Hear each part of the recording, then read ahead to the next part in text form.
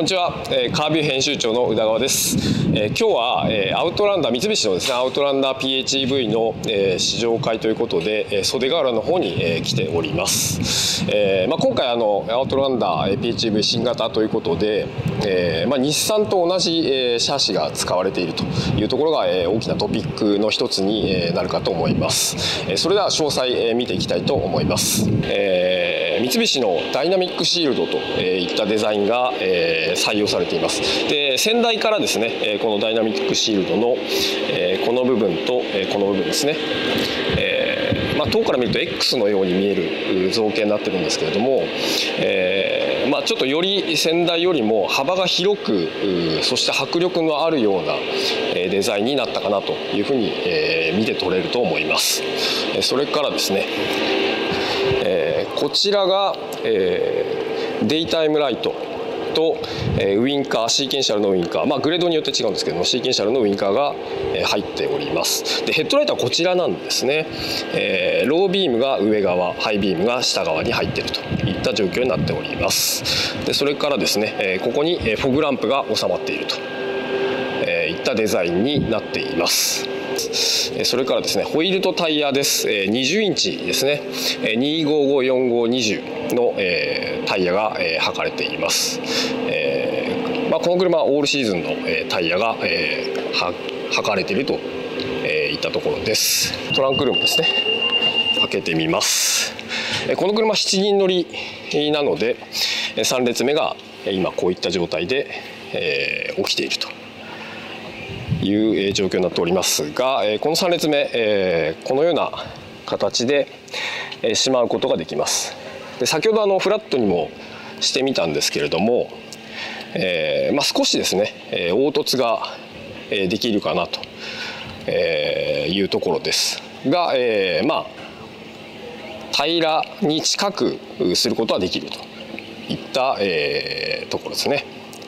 はいはい、それでは内装を見ていきたいと思います。えー、内装なんですが、えー、メーターそれから、えー、センターコンソールのモニターというところでデジタルが、えー、2つ大きな、えー、画面がありますでどちらも、えー、結構高精細で、えーまあ、きめ細かい、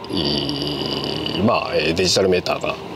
並んでおります。でこのメーターの中身についてなんですがデザインが2つ変えられますというところでですね。このように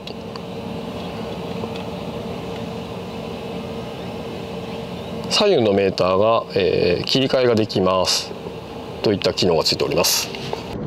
アウトランダー PHEV で、えー、袖ヶ浦サーキットを走っています。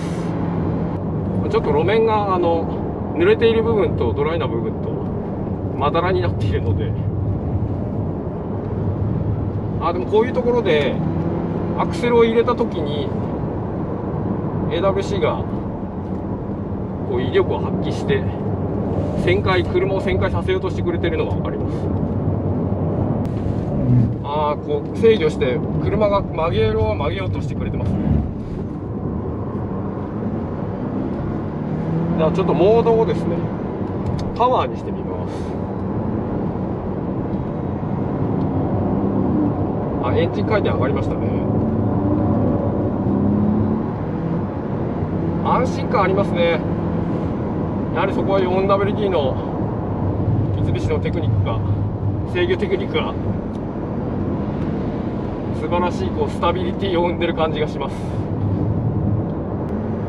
こうちゃんとコーナー出口でもアクセルを入れると後ろから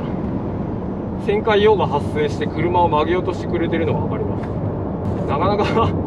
楽しく走れますね。